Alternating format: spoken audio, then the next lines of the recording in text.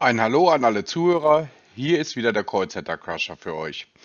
Im heutigen Video versucht mich ein Betrüger aus dem Königreich um mein Geld zu bringen. Die sind königlich, und zwar königlich uninformiert und dumm. Kein Wunder, dass ich dort nicht so wirklich investieren wollte. Habt Spaß mit dem Video, auch diesmal geht's nach dem Intro los.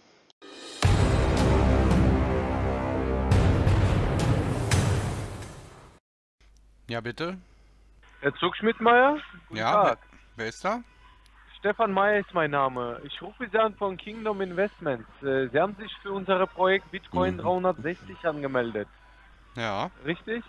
So, äh, ich habe aber festgestellt, dass Ihr Account noch nicht aktiv ist. Hatten Sie ein technisches Problem?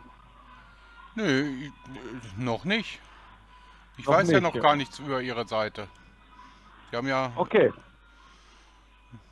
ich habe ja das keine ist, äh, Informationen darüber. Okay, das ist ja kein Problem. Deswegen, äh, Sie kamen wahrscheinlich auf der Seite nicht weiter. Deswegen äh, haben Sie auch keine Informationen. Äh, ich bin äh, bereit, Ihnen die Informationen zu geben und äh, Ihnen zu helfen, Ihr Account zu äh, aktivieren. Ja? Okay, Wie Sie sich erkundigt haben, geht es ja um Investitionen, passives Einkommen. Richtig? das ist richtig, ja. So. Sie haben sich jetzt äh, für den Projekt Bitcoin 360 angemeldet. Es geht um äh, Kryptowährungen. Ja? Ja, Äh, ich möchte Ihnen aber mitteilen, dass wir nicht nur mit äh, Kryptowährung arbeiten, sondern äh, mit komplette Börse. Ob es Metall, Währung oder sonstiges ist, ja. Sie können aber selber entscheiden, äh, in was Sie am besten investieren möchten. mhm. So. Äh, sagen Sie mir einmal, haben Sie äh, Erfahrung in diesem Bereich schon? Ich hatte schon mal, ja. Richtig. Okay. Haben Sie selber gehandelt, äh, also getradet? Ja, Okay, also ohne Finanz, ohne Hilfe. ja, richtig. Okay, äh, weil wir haben in unser Unternehmen äh, für Kunden, die eventuell nicht so viel Ahnung haben oder äh, einfach äh, Unterstützung brauchen, Finanzberater. Äh, das sind studierte Finanzwissenschaftler, die ihnen auch dabei helfen können. Äh, das minimiert einfach das Risiko, dass die äh, Geld verlieren. Ja. Okay. Äh, wir haben natürlich auch ein automatisiertes System.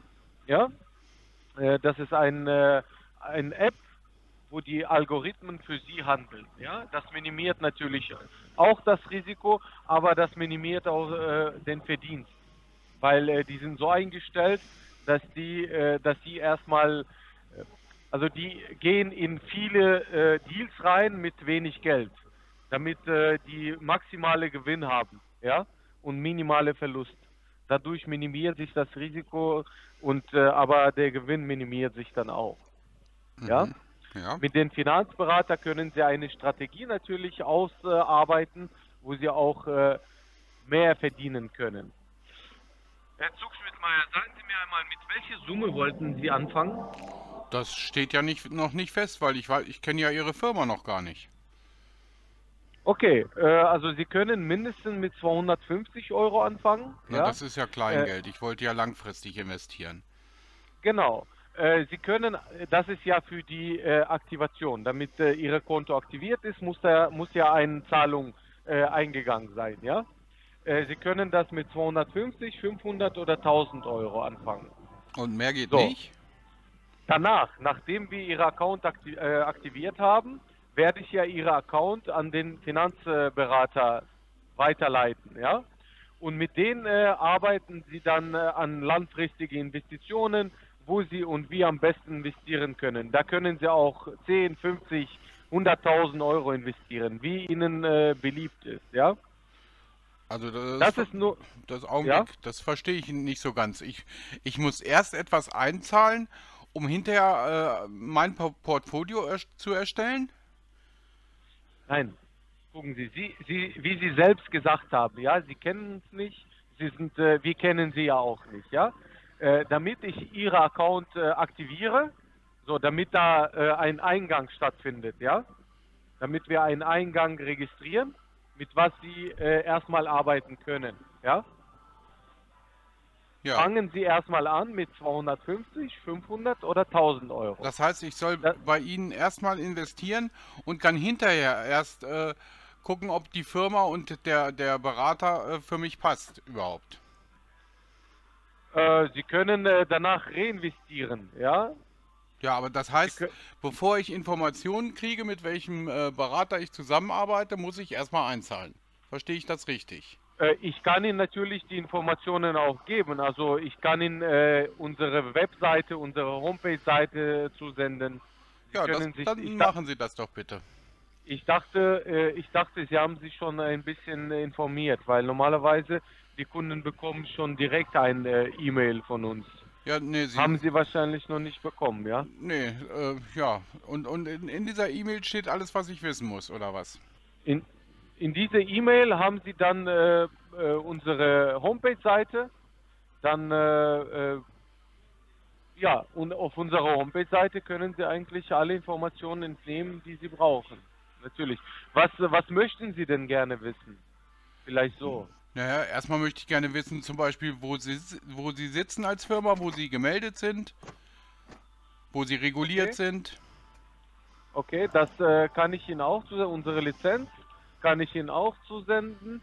Wir sind äh, durch äh, englische Behörde äh, registriert und äh, werden dadurch auch kontrolliert. Ja? Mhm, okay. Das heißt, Sie sitzen in England. Nein, wir sitzen in Berlin. Also unsere, äh, unsere Filiale befindet sich in Berlin. Äh, nur die Lizenz ist in England. Ja? Weil alle seriöse Firmen quasi eröffnen deren äh, Filialen, also Hauptfilialen in England, in London. Ja? Nö, also ich, ich ar- arbeite ja momentan auch mit einer Firma aus Deutschland. Und die sitzt bei der BaFin reguliert. Die sind durch BaFin reguliert. Gut, äh, wie Sie wissen, BaFin ist auch äh, ein äh, nicht äh, Regierungsunternehmen. Ja? Das ist wie TÜV. Ja, Äh, in, aber sie in England- reguliert. In England äh, wird man durch Finanzministerium reguliert. Also untersucht und so weiter, ja. Also das in England ist es, glaube ich, die FCA, richtig? Gov UK. Die was? GOV UK. Das ist die äh, Regierungsseite von dem Finanzministerium. Ja, da- aber die Behörde ist die FCA, richtig? Das kann ich Ihnen jetzt äh, so auf einen äh, Schlag nicht sagen. Ja, also soweit mir bekannt wird, gibt es in, in Großbritannien nur zwei verschiedene Autori äh, äh, ähm, Finanzregulierungsbehörden. Regulierungsbehörden. das ist die PRA und das ist die FCA. So, äh, Sekunde, ich sage Ihnen sofort. Also hier steht, dass wir direkt äh, vom Finanzministerium äh, quasi kontrolliert werden. Nein, es gibt ja in England nur zwei. Das ist einmal die fca.org.uk zum Beispiel. Also hier steht äh, gov.uk, das ist die Regierungsseite. gov.uk. Das ist ja, das ist, sagt ja nur aus, dass sie vom Gov äh, von den Regierungsbehörden sind. Aber eine Regierungsbehörde macht ja viel mehr. Die ist ja nicht du zuständig äh, für, um Finanzen zu regulieren. Finanzministerium, genau. Ja, aber also sind sie weder bei, bei der FCA äh, reguliert und äh, auch nicht bei der PRA, richtig? Also muss, muss ich Ihnen äh, ehrlich sagen, ich weiß es nicht. Also ich bin eigentlich dafür da, dass ich Ihnen Ihre Account äh, helfe, Ihre Account zu aktivieren, ja? Ja, Ihnen gut, aber dazu eventuell muss man doch unsere Bankver- wissen. Das doch, Bankverbindung zusende und äh, so weiter. Alles weitere macht der Finanzberatung. Also ja, und die Finanzberatung, die kriege ich erst, nachdem ich eingezahlt habe, richtig? genau. Ja, das ist richtig, ja. Ja, das ist doch selten dämlich. Sie würden sich ja auch kein neues Auto kaufen, ohne es vor der, vorher Probe zu fahren, oder? Äh, Sie können auch jederzeit Ihr Geld zurück, äh, zurückziehen. Das ist ja gar kein Problem. Es geht ja, Nee, äh, wie also Sie selber das- gesagt haben, 250 Euro, das ist jetzt äh, nicht die Welt. Und äh, so läuft das eben ab bei uns. Ja, das, ähm, okay, das ist schon, schon, ja gut, weil man hört ja sehr viel von Firmen, die dann einfach nicht zurückzahlen können. Deswegen äh, bin ich da jetzt erstmal skeptisch. Also wir, wir sind seit zehn Jahren auf dem Markt Das beweist unsere Lizenz auch und äh, bis jetzt hatten Ja, ich weiß ja noch nicht, wo Sie damit. lizenziert sind. Das sagen Sie ja nicht. Haben Sie WhatsApp unter dieser Nummer? Das ist eine Festnetzrufnummer, da gibt es kein Ah ja, WhatsApp. stimmt. Stimmt, stimmt, stimmt. Äh, Moment. Also p.r.zugschmiedenmeier.gmail.com. das ist das- richtig. Ihre E-Mail-Adresse, ja. Haben Sie ein E-Mail von mir bekommen? Ich habe Sie heute angeschrieben. Kann ich mal nachgucken. Jawohl. Wie war der Name? Stefan Meyer. Ja, da ist eine E-Mail gekommen. Ja. Okay, weil ich habe Sie schon vorher versucht zu erreichen. Ja, ich bin Leider. ja gut, aber äh, aber da, ist, da steht ja gar nichts drin. Nein, nein, da steht auch nichts drin, weil ich Sie erstmal erreichen wollte. Ich schicke Ihnen jetzt unsere Lizenz per E-Mail und äh, dann können Sie mir vielleicht sagen, was Sie meinen. Ja, genau. Dann schicken Sie. Gut, okay. Dann schicken Sie mir die erstmal, dann, dann sehen wir dann weiter. Und dann können wir uns in der Zwischenzeit, bis die E-Mail da ist, ja äh, darüber unterhalten, wie bei Ihnen eingezahlt wird und so weiter. Genau, also Sie haben zwei Möglichkeiten, entweder Aber schick, schicken Sie erstmal die E-Mail, dann, dann sehen wir ja weiter. Während Sie die E-Mail schicken, können Sie mir das ja dann erklären. Ich bin ja schon dabei, Ihnen Oh, äh. E-Mail zu senden. Das Genau. ist gut. Man hört den nicht. So, und dann die Homepage schicke ich Ihnen auch, den Link zu unserer Homepage schicke ich Ihnen auch zu, ja?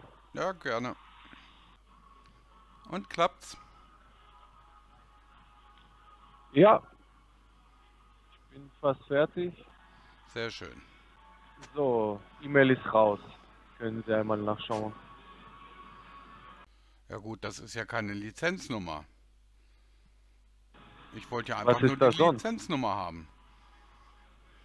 Sie können ja den Link folgen. Ja, na, mit Links bin ich inzwischen ein bisschen vorsichtig. Dann können Sie, äh, also wenn Sie vorsichtig sind mit den Links, dann äh, können Sie ja die Endnummer bei, bei den Link SC 4286231. Das ist die Nummer. Ja, okay. Ja, bitte? Mal, ich habe Sie nicht mehr gehört. Ah ja, ja, ich sehe auch irgendwie nicht. Okay, Ich weiß nicht, was da los war. Keine Ahnung. äh, haben Sie nachgeschaut? Haben Sie gesehen? Nee, noch, noch nicht so genau, aber ich hab, äh, ich kann ja mal gucken. Aber das Problem ist, äh, Ja? Sie, Sie wissen ja gar nicht, wo Sie reguliert sind. Es gibt ja nur die zwei Regulierungsbehörden. Deswegen verstehe ich das Ganze nicht. Also Sie äh, SIC, ist das richtig? Nein, also Re Regulierungsbehörde nicht. Also ich weiß, dass wir durch Finanzministerium von Großbritannien äh, reguliert sind. Ja? Ja, aber es gibt doch nur zwei. Googeln Sie doch einfach mal nach. Weil ganz klar, es gibt nur die PR, äh, PRA und es gibt die FCA. Mehr gibt es nicht. Das können Sie mir also nicht sagen, wo Sie reguliert sind. Kann ich Ihnen sofort sagen. Moment, ich, äh, ich schaue mal Ja, das nach. hatte ich ja gefragt. Und äh, welche Rolle spielt das, wo wir reguliert sind? Für Sie dann persönlich? Wenn ich Geld investieren will, dann will ich natürlich wissen, mit wem ich da zusammenarbeite und wo der, die reguliert sind. Ganz einfach. Ja, ja, aber was ist der Unterschied zwischen die zwei Organisationen? Ja, Das momentan weiß ich ja noch gar nicht, wo sie reguliert sind. Deswegen möchte ich gerne wissen, wo sie reguliert sind. Und das konnten sie Moment. bis jetzt ja noch nicht sagen. Moment.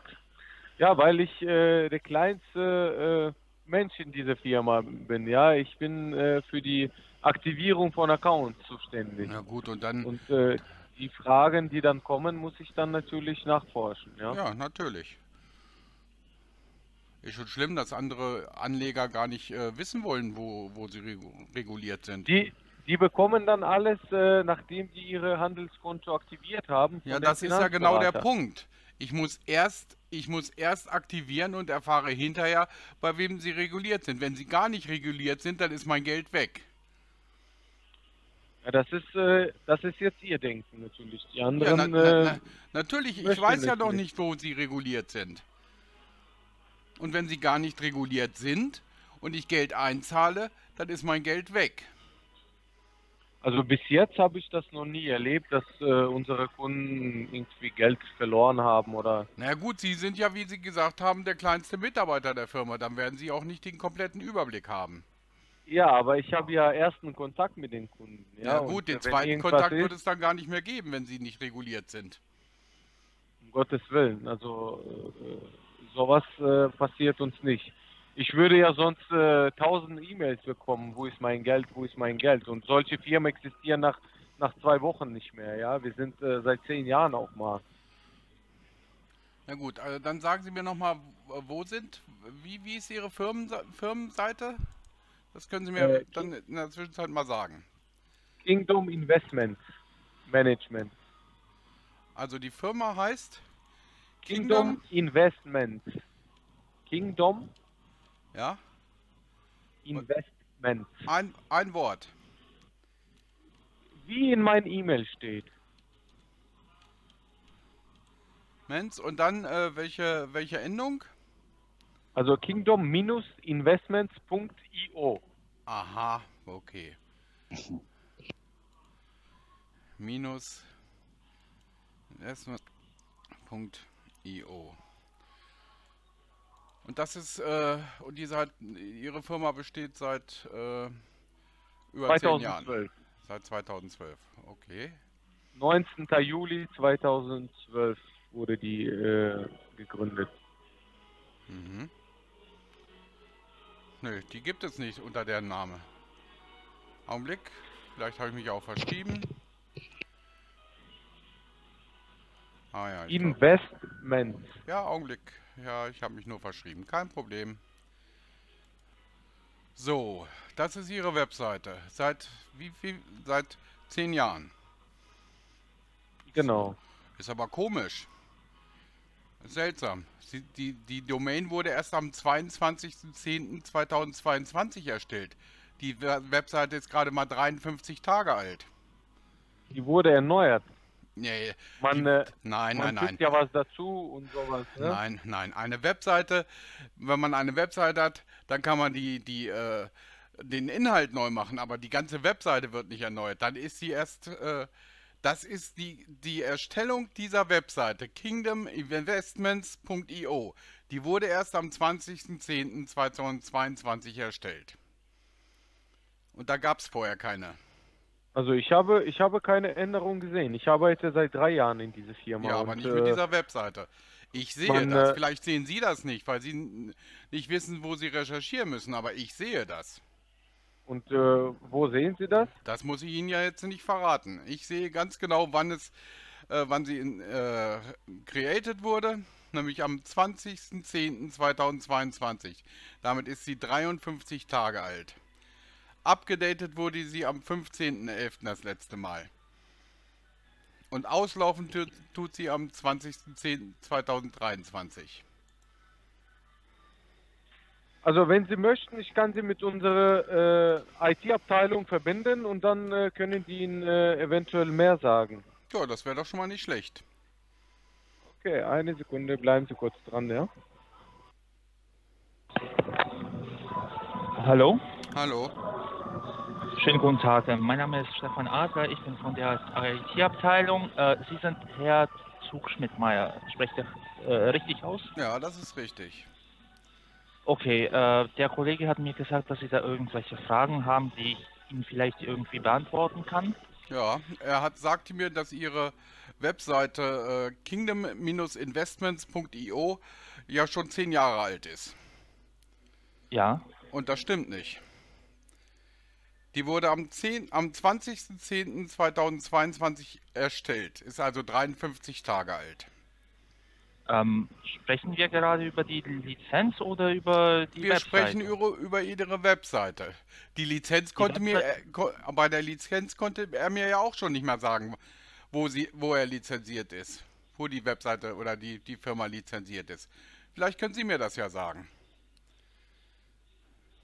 Ähm, okay, jetzt mal zurück zu der Frage mit der Webseite. Welches Datum haben Sie da genannt? Das ist am 20.10.2022. Also 20. Oktober Richtig. dieses Jahr. Ist korrekt. Die Lizenz zu der Seite wurde am diesem Tag Nein, auch nein, nein, nein, nicht die Lizenz. Die Webseite wurde erstellt. Nein, nein, ich meine äh, die Lizenz zu der Webseite. Wir zahlen äh, Da, da eine gibt, für, für Webseiten gibt es keine Lizenz, es gibt nur einen, einen Domainvertrag, der da erstellt wurde. Für diesen Namen zahlen wir einen Betrag, den, äh, der uns erlaubt, diesen Namen zu halten. Ja, das ist, Früher eine, das- das ist eine Domain. Das ist keine Lizenz, das ist eine Domain. Früher war das äh, ein bisschen andere Seite. Das war nicht kingdom-investments.io, das war früher kingdominvestments.com. Aber den Domain hat jemand äh, verkauft. Die Lizenz äh, zu diesem Namen konnten wir nicht erstellen, darum haben wir den Namen geändert. Ja gut, aber Das äh, ist, jetzt kingdom-investments.io. Ja, Tut uns gut. leid, dass es äh, so ein bisschen Sie verwirrt, da glaube ich, aber Augenblick, wenn Sie, äh, wenn Sie die äh, alte Webseite gehabt haben, dann können doch nur Sie diese Webseite auch verkaufen. Als Inhaber wissen der ja, Webseite. Ja, Sie wissen ja, wie viele es, es äh, wenn Sie sich da eigentlich äh, auskennen, äh, dann wissen Sie ja, wie viele es äh, Menschen jetzt gibt, die versuchen, äh, die gleichen äh, Namen von Seiten, die gleichen Seiten zu erstellen wie wir, um äh, sozusagen Menschen zu verwirren, damit die ihr Geld irgendwo in dritte Seiten investieren, sagen Ja, wir gut, mal aber- so. aber- es ist wirklich schwierig. Äh, Ich kann Ihnen nicht den ganzen Prozess erklären, aber es ist wirklich schwierig, den Namen zu halten, so wie er es ist. Äh, Also ich meine den ursprünglichen Namen. Aber wir machen unser Bestes sozusagen. Ja gut, aber wie gesagt, das ist der, das ist der eine Punkt. Der zweite Okay. Punkt natürlich ist natürlich, äh, dass Ihre Kingdom Investments IO, die habe ich mal gegoogelt. Okay. Und was haben Sie schon, können Sie mal raten, was, was, was ich da als Ergebnisse be bekomme? Äh, Ich kann mir vorstellen, aber ich habe auch schon auch eine gute Antwort für Sie. Na, dann schießen Sie mal los.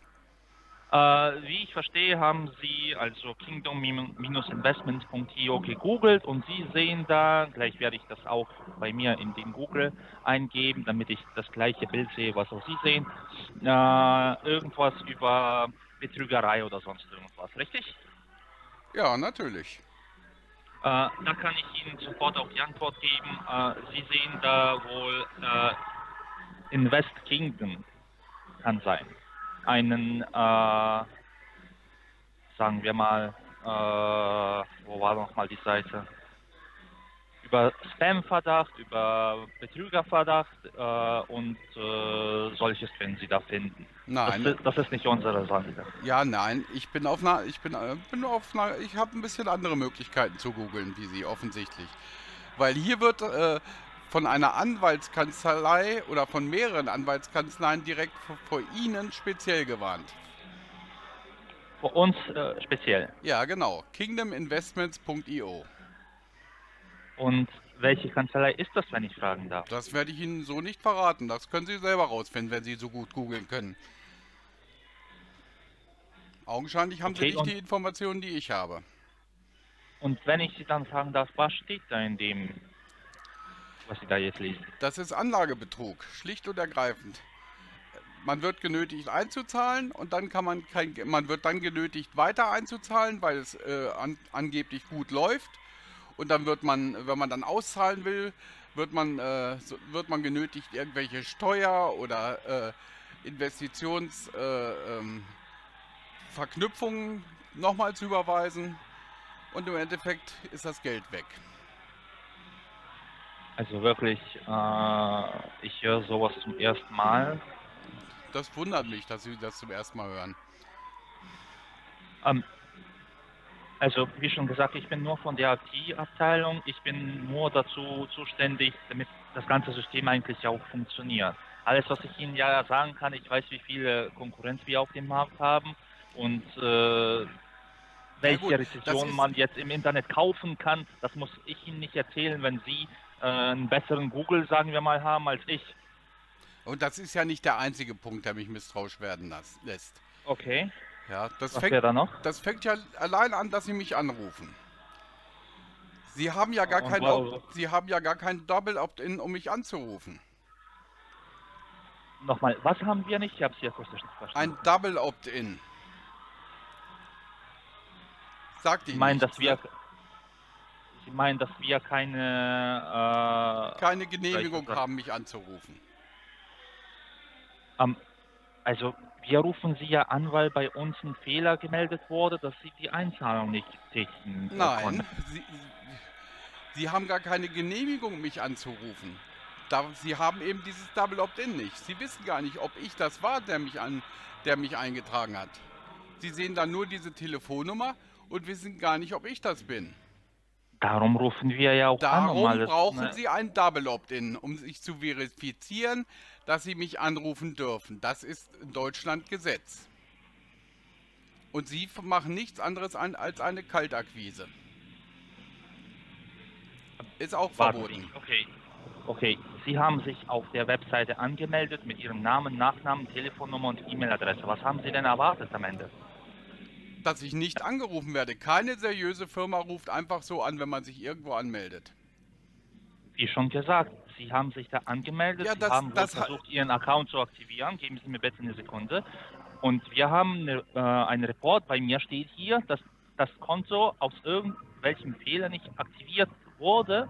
Darum hat Sie mein Kollege ja auch angerufen. Ist ja nichts schief daran. Nee, ich, habe, ich habe gar nicht versucht, das Konto zu aktivieren. Okay, und bei welchem Punkt waren Sie dann? Ich habe mich angemeldet. Und mehr nicht. Okay, und äh, was haben Sie dann eigentlich gewollt von weiter von Ich wollte mich einfach anmelden. mal informieren, welche seltsamen Scammerfirmen mich da tatsächlich noch anrufen.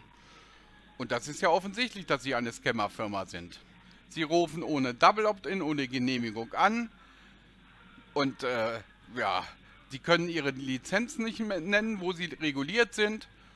Das sind viele kleine äh, Fakten, die mich dazu bringen, zu sagen, sie sind eine Scammerfirma.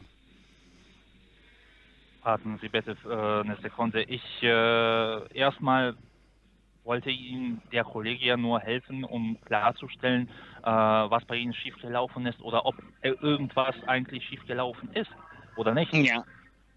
Ja, trotz allem. Zweitens, er, er Niemand hat von Ihnen ja kein Geld genommen. ja, Das ist immer noch Ihre Entscheidung. Ja, aber das fängt, fängt ja allein darin an, dass er nicht mal sagen konnte, wo sie lizenziert und reguliert sind.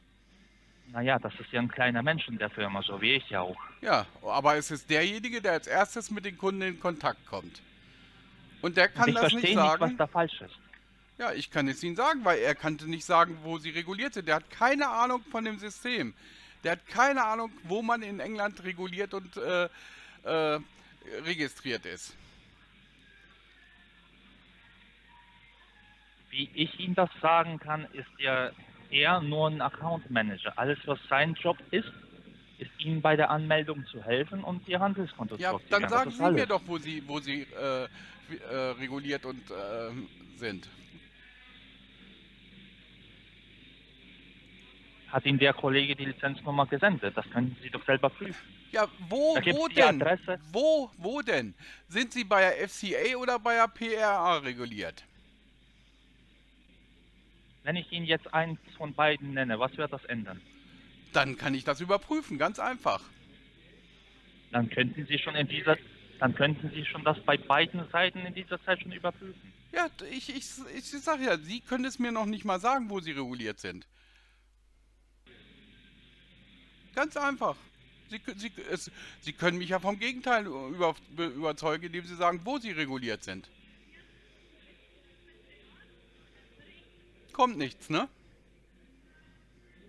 Also, okay. Äh, tut mir leid, dass ich vielleicht in diesen äh, Fragen nicht der Beste bin, der Ihnen das beantworten kann. Der Kollege hat mir das gegeben, damit ich Ihnen bei irgendwelchen technischen Problemen äh, helfen kann. Also ich bin nicht mehr für die Lizenz eigentlich zuständig. Ja, es ist niemand zuständig, der das sagen kann. Das ist das Problem an der Sache. wie schon gesagt, äh, niemand äh, drängt sie zu irgendwas, niemand sagt ihnen, dass sie hier irgendwas machen müssen. Wir haben sie ja nur angerufen, weil ich Ja, und selbst- auf meinem Bildschirm gesehen habe. Und schon das ist war alles. illegal. Und schon das war illegal. Anzurufen, ohne eine Genehmigung dafür zu haben. Dann sagen Sie mir doch einfach, das müssen Sie ja auch als IT-Mann auch wissen. Wo in England sitzen Sie denn genau in London? Ähm, Die, Adresse Ja, bitte. äh, Dieses Office, ist, äh, wo wir Sie anrufen, sitzt nicht in äh, London, Ach so. Und wo ist es dann? Berlin. Ach, in Berlin. Komisch. Und Sie rufen mit einer englischen Rufnummer an. Okay, wo, wo in Berlin sind wir denn da? Das Office. Das ist IP-Telefonie, von dem ich Sie erstmal anrufe. Äh, die Nummer wird automatisch ausgewählt von der freien Linie. Ja, ist, ist in Deutschland auch schon verboten. Sie rufen aus Deutschland an, Sie müssen eine deutsche Rufnummer haben. Die gibt es in unserem Register. Eine deutsche Rufnummer haben wir. Das System hat nur automatisch eine. Äh, bei Ihnen müsste ja gerade, wie ich das sehe, nicht eine äh, englische Rufnummer äh, stehen, sondern Österreich. Nein, Englisch. Können Sie mir bitte dann die Vorwahl sagen? Das ist 044. Bei Ihnen steht auch nur 044. Genau. Okay, dann müsste wohl ein Fehler in meinem System sein. Das, das tut mir leid. Ja. Und wieder ein Fehler mehr. So, dann wo sitzen Sie denn in, in, äh, in Berlin? Das kann ich Ihnen leider nicht verraten. Ich kann Ja, Ihnen den Hauptsitz von dem Office von äh, London geben. Ist kein Problem für mich, aber den Hauptsitz von Berlin kann ich Ihnen leider nicht geben. Und wieder ein Fakt mehr, der mir sagt, dass Sie ein absoluter Scam-Betrüger sind. Fällt langsam auf, dass Sie ganz schön viele Sachen äh, nicht erklären können. Es fällt wirklich extrem auf. Sie sind also eine Betrügerfirma. Wissen Sie was? Ich werde Ihnen dazu nichts mehr und nichts weniger sagen. Sie können Ihre Meinung so erstellen, wie Sie das möchten. Äh, Ja, genau, so werde ich gesagt, das auch tun. Machen Sie es so, wie es für Sie besser ist. Ja, also wie genau. schon gesagt, Und ich werde jede Grund, Menge Leute davor warnen, bei Ihnen zu investieren. können Sie machen, wenn Sie da, daran glauben. Ja, das geht hervorragend. Über YouTube ist das klasse. Dann kann ich mi- mich nur freuen, das Video zu sehen. Ja, sehr gerne. Wenn es Ihnen dann nichts ausmacht, senden Sie dann bitte die Link zu dem Video. Zu. Das werden Sie, Sie können doch so gut googeln, dann werden Sie das schon finden. Trotzdem, wenn es Ihnen nichts ausmacht, das ist doch zwei Macht es aber. Arbeit. Macht es aber. Okay, und dann unter welchen äh, Namen soll ich dann das googeln? Ja, das Oder werden Sie dann auch schon finden? finden. Das werden Sie, das werden Sie dann schon finden. Sie können doch so gut googeln. Ja, kann ich. Äh, und ich habe ja auch schon verstanden, mit, mit wem ich da eigentlich jetzt spreche. Darum äh, lassen Sie uns äh, nicht die Zeit voneinander nehmen. Och, ich, Äh, ich nehme mir sehr viel Zeit für Sie. Weil in der Zeit können Sie niemanden anderen anrufen und betrügen. Wie schon gesagt, Sie können Ihre Meinung so erstellen, wie Sie das möchten. Mache ich auch. Ansonsten wünsche ich Ihnen noch einen schönen Tag. Ja, den wünsche ich mir auch. Ihnen allerdings nicht.